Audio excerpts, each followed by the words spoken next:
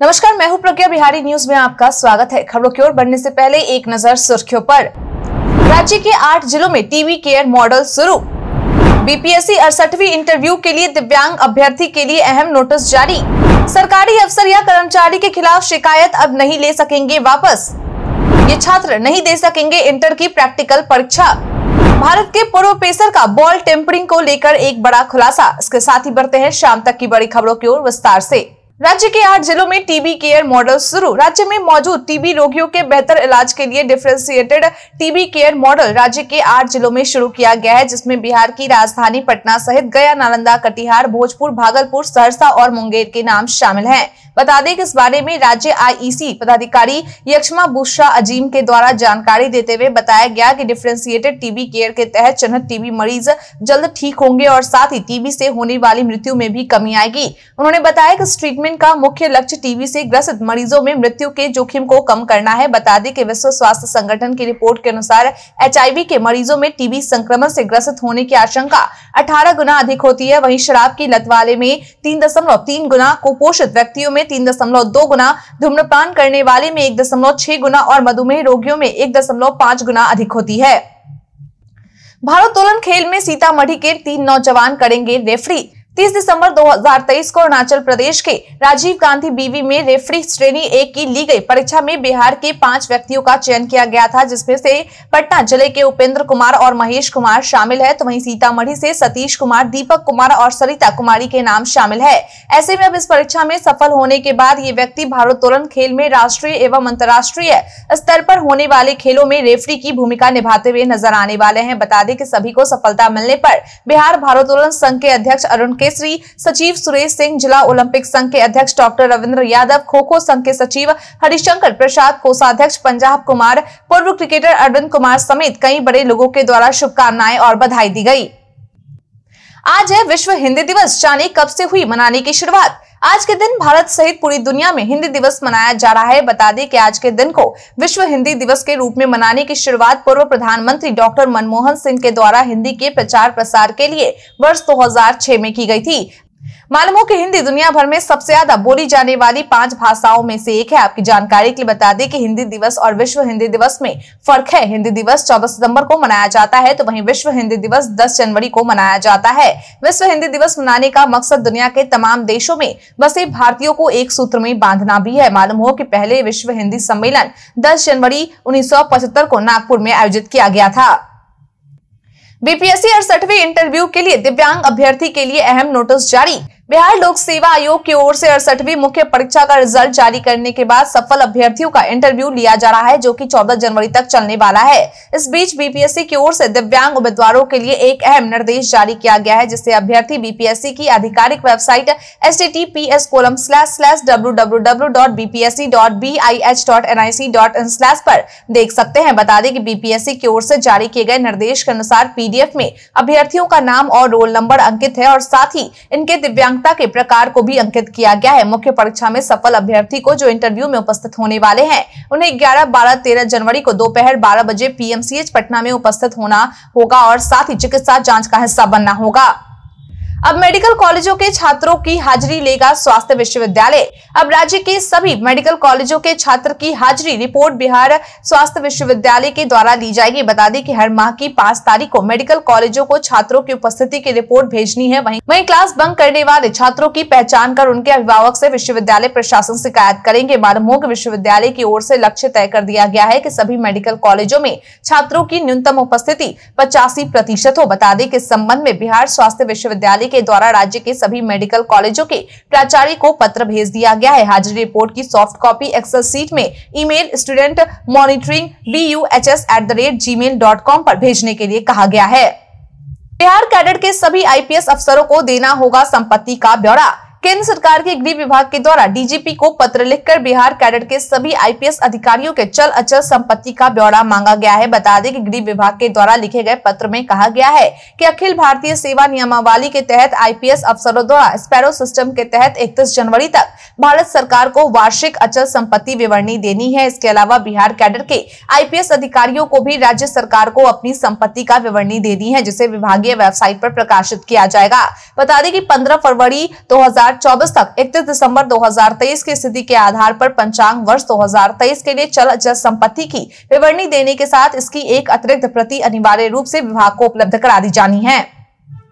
सरकारी अफसर या कर्मचारी के खिलाफ शिकायत अब नहीं ले सकेंगे वापस। अब राज्य में अगर किसी व्यक्ति के द्वारा किसी सरकारी पदाधिकारी या कर्मी के खिलाफ एक बार किसी मामले को लेकर शिकायत दायर कर ली जाती है तो वह व्यक्ति उस शिकायत को वापस नहीं ले सकता। और किसी के द्वारा अगर ऐसा किया जाता है तो उसके खिलाफ कार्रवाई की जाएगी। बता दें कि आदेश सभी निगरानी समेत किसी भी विभाग या जिला स्तर पर की गई शिकायत पर लागू होगा। इससे संबंधित आदेश निगरानी विभाग के द्वारा सभी विभागों के प्रमुख से लेकर डीएम, एसपी समेत अन्य को पत्र जारी कर दे दिया गया है। बता दें कि जारी किए गए पत्र में कहा गया है कि जून 2005 में मुख्य सचिव के स्तर से लोक सेवकों के खिलाफ प्राप्त किसी बेनामी नाम से शिकायत पत्रों पर कार्रवाई करने को लेकर मार्गदर्शन जारी किया गया था।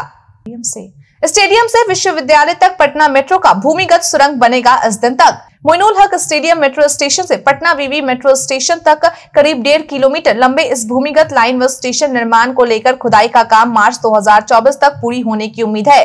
बता दें कि यह काम अप्रैल 2023 में शुरू हुआ था। इस कार्य को सामान्य तौर पर छह से आठ महीने तक पूरा करने का लक्ष्य निर्धारित किया गया था, लेकिन तकनीकी कारणों की वजह से अब इस कार्य को मार्च दो हज़ार चौबीस तक पूरा करने का लक्ष्य निर्धारित किया गया है। इस बारे में मेट्रो निर्माण से जुड़े अधिकारियों के अनुसार जानकारी देते हुए बताया गया है की इस खंड पर करीब अठारह मीटर लंबे टीबीएम को उतारा गया है। ऐसे में खुदाई के दौरान चिकनी मिट्टी मिलने से उसको काटने में काफ़ी सावधानी बरतनी पड़ रही है। शराब की बड़ी खेप के साथ ट्रक चालक गिरफ़्तार। बिहार में पूर्ण रूप से शराबबंदी है, लेकिन इसके बावजूद भी आए दिन इससे जुड़े मामले सामने आते रहते हैं। हालाँकि इन पर नकेल कसने के लिए उत्पाद विभाग की ओर से जीतोड़ कोशिश की जा रही बता दें कि ताज़ा मामला बिहार के जमुई का है, जहाँ सेल टैक्स की टीम के द्वारा जमुई शहर के कचहरी चौक से शराब लदे ट्रक को जब्त किया गया है, जो की कोलकाता से पटना ले जाई जा रही थी। इस बारे में जमुई उत्पाद अधीक्षक संजीव ठाकुर के द्वारा जानकारी देते हुए बताया गया की लगातार शराब तस्कर अलग अलग तरीके से शराब तस्करी कर रहे हैं। अब शराब ट्रांसपोर्ट की आड़ में शराब की तस्करी करता है। जब्त शराब के साथ सारे ट्रांसपोर्ट के सामान को भी जब्त किया गया है, जिसे कोर्ट में पेश किया जाएगा। बाकी न्यायालय के आदेश पर जो भी आदेश होगा, उस अनुसार कार्रवाई की जाएगी। फ़िलहाल ट्रक चालक को न्यायिक हिरासत में भेजा गया है।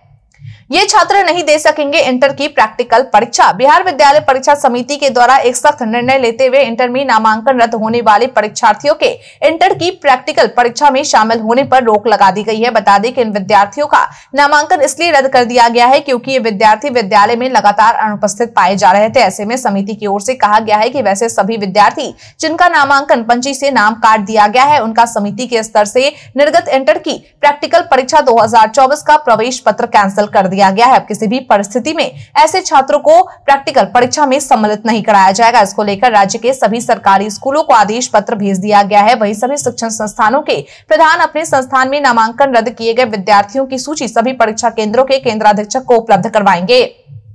लोकसभा चुनाव को लेकर आरजेडी का मिशन आज से शुरू। 2024 में होने वाले लोकसभा चुनाव को लेकर आज यानी कि 10 जनवरी से राजद का जिला स्तरीय कार्यकर्ता सम्मेलन का शुरुआत हो चुका है, जो कि अगले चार दिनों तक चलने वाला है। इस दौरान कार्यकर्ताओं को बताया जाएगा कि लोकसभा चुनाव किन मुद्दों पर और किस प्रकार से लड़ा जाएगा। इस बारे में राजद के मुख्य प्रवक्ता शक्ति सिंह यादव के द्वारा जानकारी देते हुए बताया गया कि इस कार्यकर्ता सम्मेलन का आयोजन बिहार के उप मुख्यमंत्री तेजस्वी यादव के निर्देश पर किया जा रहा है और इस सम्मेलन के ज़रिए पार्टी के प्रत्येक कार्यकर्ताओं को बताया जाएगा कि राज्य में नीतीश कुमार और तेजस्वी यादव के नेतृत्व वाली सरकार राज्य और यहाँ के नागरिकों की प्रगति के लिए नित्य नए कार्यक्रम और योजनाएँ बना रही है और उन्हें लागू भी कर रही है। शिकायत दर्ज होने के बाद शिक्षा मंत्री की सफ़ाई। बिहार के शिक्षा मंत्री प्रोफेसर चंद्रशेखर के द्वारा मंदिर को गुलामी का रास्ता बताने वाले बयान को लेकर शिव भवानी संघ के राष्ट्रीय अध्यक्ष लव कुमार सिंह के द्वारा उनके खिलाफ सनहा दर्ज करा दिया गया था। वही अब इसके बाद शिक्षा मंत्री के द्वारा प्रेस कॉन्फ्रेंस कर अपने इस बयान को लेकर सफ़ाई दी गई है। उन्होंने कहा की वह सबरी व अहिल्या के बेटे बेटियों को मंदिर जाने पर रोकने व अपवित्र समझकर गंगा जल से धोने वाले धर्म के नाम पर चर्चा करने वालों व बेचने वालों के खिलाफ समाज को जागरूक करने की ज़िम्मेदारी उनके जैसे समाजवादियों का है। उन्होंने कहा कि हिंदू धर्म को छूत अछूत में बांटने वाले षड्यंत्रकारी, मनुवादी, नफरतवादी, संप्रदायवादी के विरुद्ध है। उन्होंने कहा कि लड़ाई वह अपने जीवन भर लड़ेंगे। उन्होंने मंदिर को लेकर कोई बयान नहीं दिया। उनकी पार्टी के विधायक फतेह बहादुर सिंह ने सावित्री बाई फूले की बातों को दोहराया था कि मंदिर का रास्ता मानसिक गुलामी का रास्ता होता है, स्कूल का रास्ता, प्रकाश का रास्ता होता है।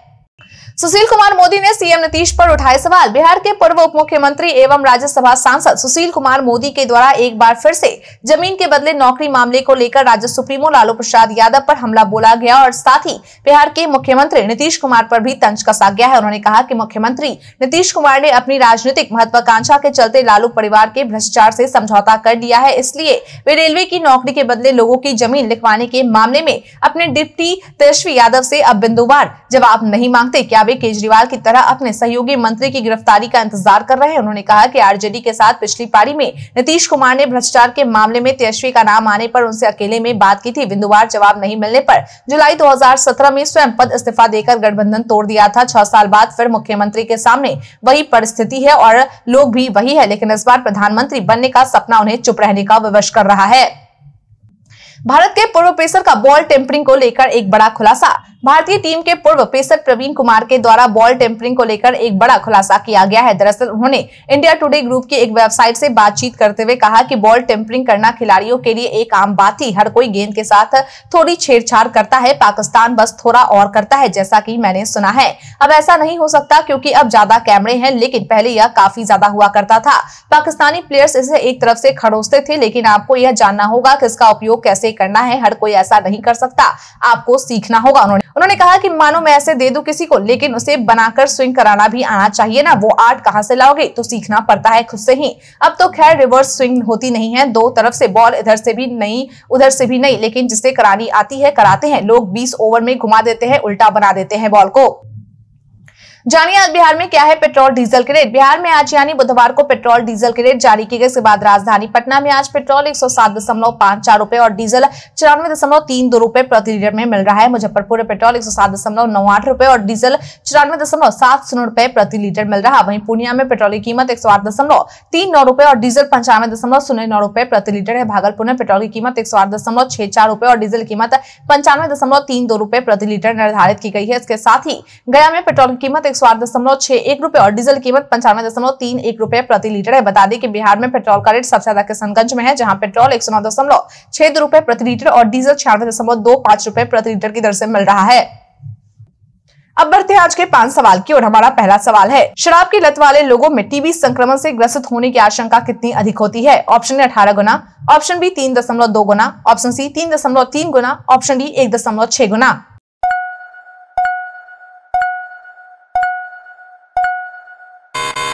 इसका सही उत्तर है ऑप्शन सी, तीन दशमलव तीन गुना।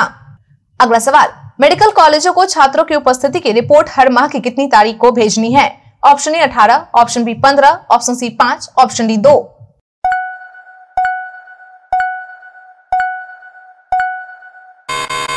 इसका सही उत्तर है ऑप्शन सी, पाँच। अगला सवाल, हिंदी दिवस कब मनाया जाता है? ऑप्शन ए, दस जनवरी, ऑप्शन बी, चौदह सितंबर, ऑप्शन सी, बारह नवंबर, ऑप्शन डी, इनमें से कोई नहीं।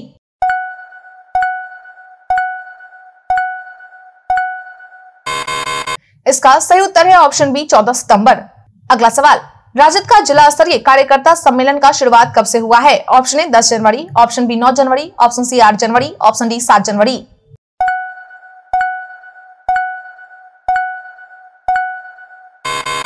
इसका सही उत्तर है ऑप्शन ए, दस जनवरी। अगला सवाल, पंचांग वर्ष 2023 के लिए अचल अचल संपत्ति की विवरणी देने के साथ इसकी एक अतिरिक्त प्रति कब तक विभाग को देनी है? ऑप्शन ए तेरह जनवरी। ऑप्शन बी पंद्रह जनवरी। ऑप्शन सी दस फरवरी। ऑप्शन डी पंद्रह फरवरी।